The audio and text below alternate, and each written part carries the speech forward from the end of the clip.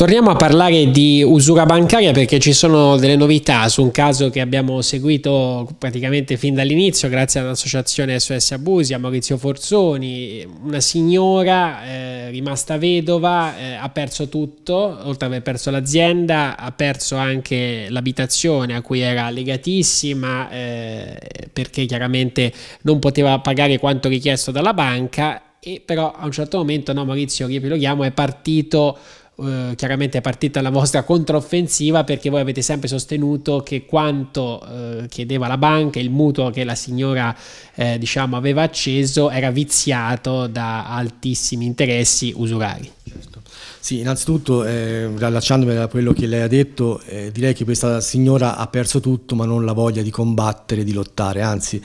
oggi è ancora più determinata di prima nonostante abbia 81 anni e gli acciacchi diciamo, dell'età e poi anche ovviamente uno stato anche depressivo dovuto ai fatti denunciati. Come noi abbiamo sempre parlato in questa sede, insomma, quindi eh, ormai sono eh, diversi anni, sono più di otto anni che ci occupiamo di questa vicenda,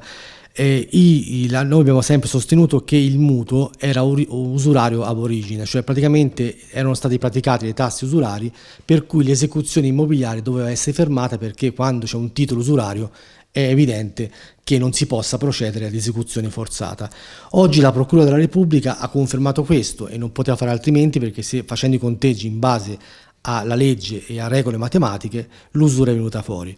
Il dottor Rossi ha praticamente eh, rilevato la prescrizione del reato perché ha detto che il, ehm, il contratto si riferisce al 2002-2003 per cui secondo lui sono trascorsi i tempi di legge. A parte il fatto che noi abbiamo contestato anche questo aspetto perché l'usura non è più un reato istantaneo, ma è un reato che eh, può ehm, assumere aspetti di tipo permanente, come in questo caso, perché fino a che chiaramente la banca richiede il capitale e gli interessi sulla base di un contratto usurario, il reato non si prescrive e questo è un primo punto che abbiamo contestato.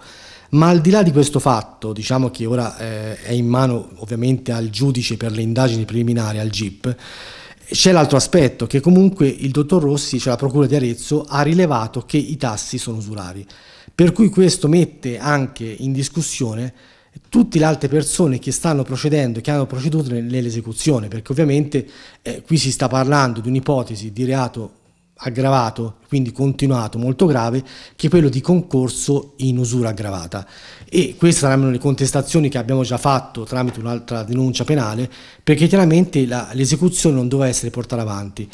E mh, questo è un documento ovviamente a questo punto eh, pubblico, perché non è più eh, il tecnico Forzoni Maurizio che attesta eh, l'usura dei tassi, ma è stata la stessa procura che praticamente ha confermato questo aspetto e quindi ci ha dato ragione, eh, perché eh, come si legge nell'atto appunto della, eh, della uh, Procura della Repubblica c'è scritto preso atto che dall'esame della relazione del CT nominato emerge, emerge la manifestazione del reato di usura ipotizzato a carico dell'indagato che aveva sottoscritto il contratto di mutuo. Ecco, l'indagato era il direttore della banca. Il direttore della banca.